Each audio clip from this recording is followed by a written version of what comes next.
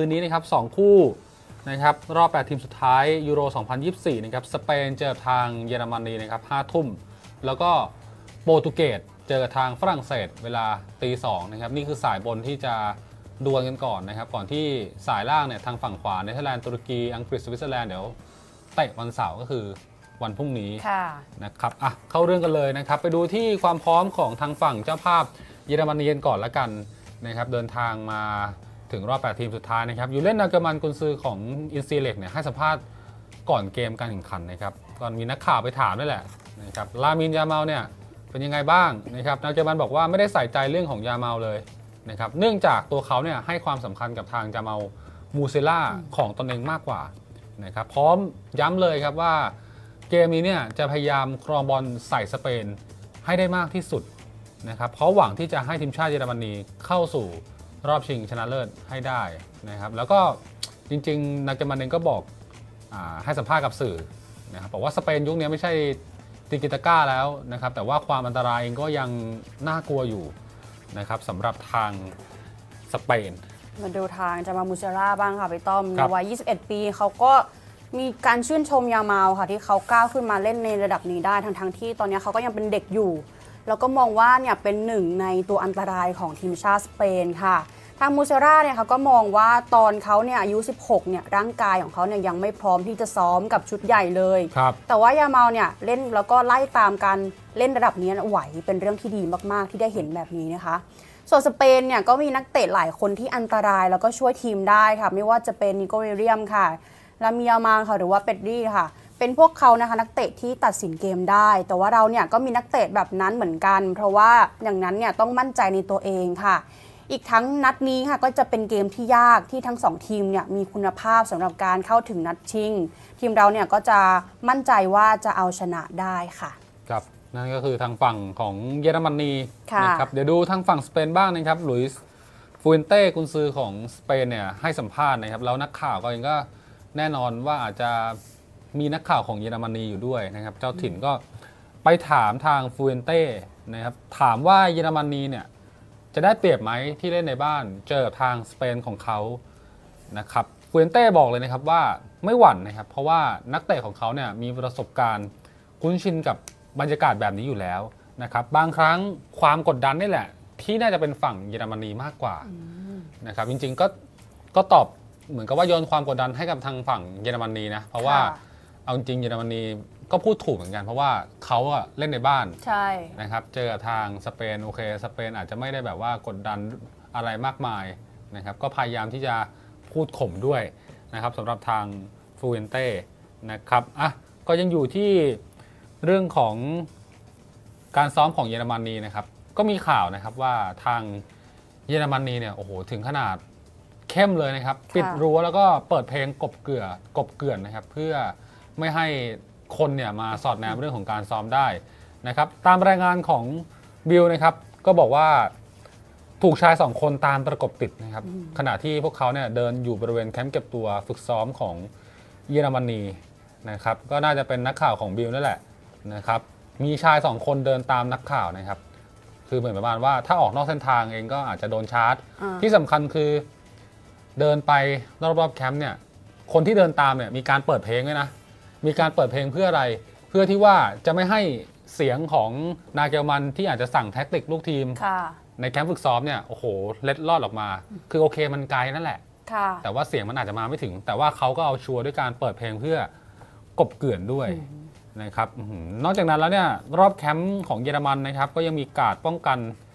คนที่จะบุกเข้ามาในแคมป์ด้วย รวมทั้งตำรวจม้าคอยรักษาความปลอดภัยนี่แหละ ตามตามภาพนี่ตำรวจม้าเลยนะลาดตระเวนเลยนะดูเหมือนว่าเข้มจริงแหมแล้วมีรั้วลวดหนามเหมือนกับชายแดนเลยอะๆใช่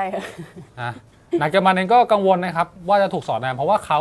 เคยมีประสบการณ์เรื่องของการถูกอาสอดแนมมาแล้วนะครับ สมัยที่ทำอ่าทำทีมบาเยิร์นมิวนิกนั่นแหละก็เลยเอามาใช้กับทีมชาติเยอรมนีด้วยนะครับแบบนี้คือเยอรมนีเขาเอาจริงนะครับเขาจะเอาไปถึงแชมป์เลยจริง ๆ ครับ เรามาดูข่าวนี้บ้างค่ะ สีผมทรงใหม่ของโรเบิร์ตอันดริชค่ะ กองกลางตัวหลักของทีมชาติเยอรมนีค่ะ มาพร้อมกับทรงผมสีม่วงค่ะ ก่อนลงดวลกับทีมชาติสเปนในยูโร 2024 รอบ 8 ทีมสุดท้าย การทำทรงผมแปลกๆ บนโลกฟุตบอลเนี่ยก็เป็นที่น่าจดจำค่ะ เยอะอย่างนายก้าว อย่างอย่างอานายครัค่ะบส่วนอันดริกค่ะเขาก็เป็นกองกลางตัวหลักของทีมชาติเยอรมนีค่ะเขาก็เบียดตัวจริงอย่างเรออนโกเรต้าค่ะ โดยด้วยสไตล์การเล่นแบบจ่ายบอลไววันทัชจึงเป็นที่ถูกใจของนักเยอรมัน แล้วก็แฟนบอลอย่างนี้เรียกว่าทรงอะไรอะพี่ต้อม ก็เปิดข้างโมฮอคโอ้โหเปิดกะเปิดเปิดข้างโมฮอคแล้วก็ไฮไลท์ผมสีม่วงน่าแต่อยากเดี๋ยวเดี๋ยวต้องไปหาบทสัมภาษณ์นะว่าทำไมเขาถึงทำสีม่วง อ่าอ่าจริง ๆ มันต้องมีสาเหตุ เดี๋ยว ค่ะมันต้องมีนักข่าวไปถามว่าเอ้ยทำไมอันดริกทำไมยูถึงทำผมสีม่วงล่ะอ่าอ่าทำไมไม่ทำสีอื่นนะครับแหมแต่ว่าแต่ว่าเก๋จริงๆนะ อ่าก็ถือว่าอ่าอาจจะเป็นสีม่วงชุดเยือนนะสีม่วงชุดเยือนนะครับแล้วก็จริง ๆ ในโลกฟุตบอลเนี่ยนักบอลที่ทำผมแปลกๆเนี่ยก็มีเยอะ ใช่ค่ะ นะครับอะอย่างโรนัลโดอะนะเนี่ย คือเป็นทรงผมที่ โอ้โห ผมถูกใจมากที่สุดแล้ว ตั้งแต่ค่ะดูฟุตบอลมา คือไม่มีใครที่จะตัดผมแบบเนี้ย แล้วมาเตะบอลได้เหมือนกับโรนัลโดอะนะนะครับกองตำนานศูนย์หน้าของทีมชาติบราซิล ซึ่งเอาจริงถ้าคนที่ดูฟุตบอลเนี่ยโรนัลโดเคยออกมาให้สัมภาษณ์นะว่าสาเหตุที่เขาตัดผมทรงเนี้ยเพราะว่าเขาต้องการที่จะเบี่ยงเบนประเด็นอ่าความน่าสนใจของบรรดาสื่อมวลชนในตอนนั้นที่ มุ่งเป้าไปที่เรื่องอาการบาดเจ็บของเขาค่ะนะครับในฟุตบอลโลกปี 2002 ที่เกาหลีใต้แล้วก็ญี่ปุ่นเป็นเจ้าภาพก็เลยตัดทรงผมที่เรียกได้ว่าไดโกโรนะครับมาแข่งขันในรายการนี้แล้วก็โอ้พอทรงผมนี้มาแข่งรายการนี้เนี่ยทัวร์นาเมนต์นั้นยิงระเบิดเลยนะครับสำหรับทางโรนัลโดอาร์ไนนะครับส่วนถ้าเป็นที่ประเทศไทยเนี่ยถ้าคนที่ทำผมเตะบอลเป็นนักบอลแล้วทำผมจี๊ดค่ะจ้านเนี่ยผมยกให้สารวัตรเด่นมิตรเจ้าแคมป์อืมอ่า นี่นี่แหละ ขึ้นมาแล้ว คือสะดุดตาคือสไตล์การเล่นก็สะดุดตาอยู่แล้วค่ะแล้วเจอทรงผมอีกผมว่าถ้าน้องๆ หรือว่าผู้หญิงที่มาดูบอลก็จะดูเขาเป็นหลักอะด้วยสีผม สีผมมันมันดึงดูดใจมากใช่ไหมคะนะและเด่นสุดในสนามนะแต่ตอนนี้ก็เรียบร้อยแขวนสตั๊ดไปเป็นที่เรียบร้อยแล้วนะครับสำหรับสารวัตรเด่นมิตรครับคนไหนคะอ่าอ่านี่ก็นี่ก็เด่นบาโลเตลลี่ นะอันนี้แต่เขาถักเปียตรงกลางเหรอคะพี่อ่าเป็นทรงอะไรก็ไม่รู้นะฮะสำหรับทางบาโลเตลลี่ซึ่งเอาจริงๆทำช่วงที่บาโลเตลลี่พีคๆหรือว่ายังยังเขาเรียกว่ายังค้าแข้งแบบว่าพีคๆอยู่เนี่ยเขาทำอะไรก็โดดเด่นไปหมดนะค่ะไม่ว่าจะเป็นอ่าตอนวอร์มตอนซ้อมทำอะไรก็ถูกสื่อจับตารวมทั้งในสนามนี่แหละที่มักจะทำทรงผมแปลกๆมานะครับแต่เอาจริงๆคนที่ทำผมอะไรแล้วก็ดูหล่อไปหมดเนี่ยต้องคนนี้ครับคนไหนคะเดวิดเบ็คแฮมโอ้นี่โห ต่อให้ศีรษะจะไม่มีเส้นผมนะ ก็ยังหล่อหล่อถูกไหมจริงอะอ่าถ้าเป็นหล่อผู้หญิงมากมองก็คือเนี่ยดูทรงเนี้ยหล่อคือไหมมันไม่ใช่ทุกคนที่จะแบบสกินเฮดแล้วรอดนะพี่ต้อม ใช่ แต่เขาคือแบบรอดอะ อืม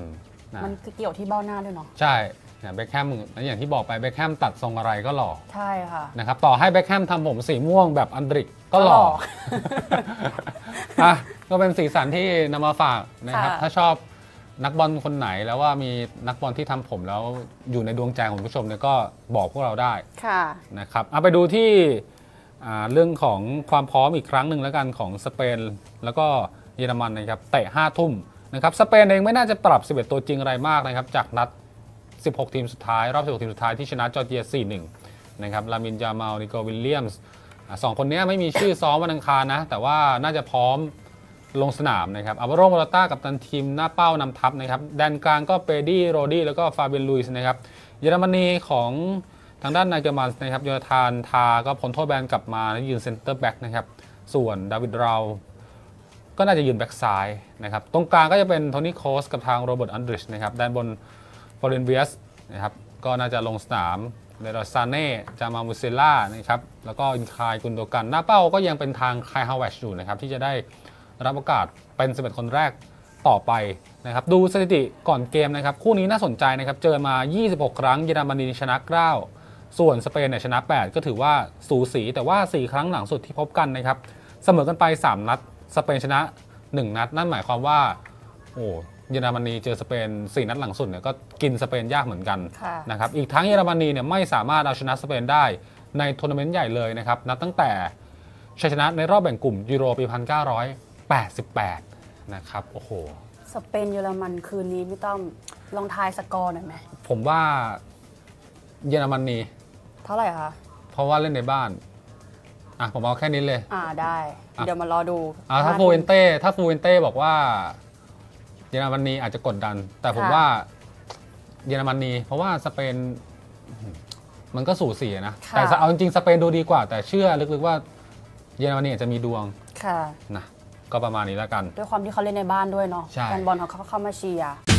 ไม่พลาดทุกเรื่องราวกีฬาอย่าลืมกด Subscribe YouTube p l u s Sport ช่องกีฬาเพื่อคนรักกีฬาทุกคนครับ